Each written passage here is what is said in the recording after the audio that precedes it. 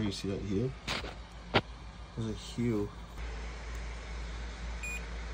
So this is why a lot of people are not fans of electronic leak detector.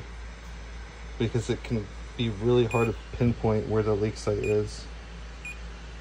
But right here I pinged it. And I showed on another video right here, the UV dye hue was found. And it's coinciding with the ping and registry. So I'm, I'm doing multiple methods. Here we're using the AccuTrak VPE 1000 to find a leak.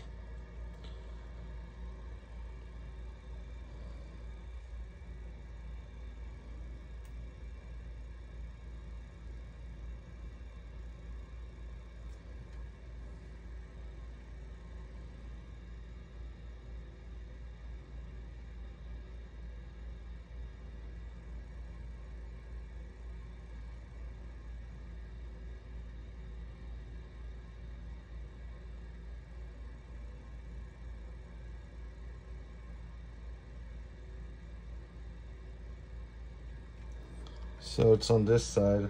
Here